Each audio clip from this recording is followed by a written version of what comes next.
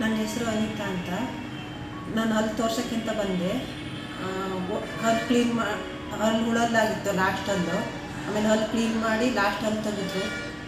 ಏನೂ ನೋವಾಗಲಿಲ್ಲ ನನಗೆ ಕಿತ್ತಿದ್ದೇ ಗೊತ್ತಾಗಲಿಲ್ಲ. Thank you